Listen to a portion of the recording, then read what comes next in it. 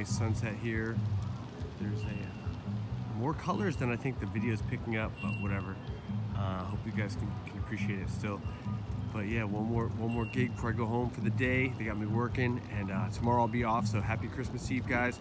Hope you have a blessed day tomorrow, and and today for that matter. So yeah, enjoy it. Merry Christmas, guys.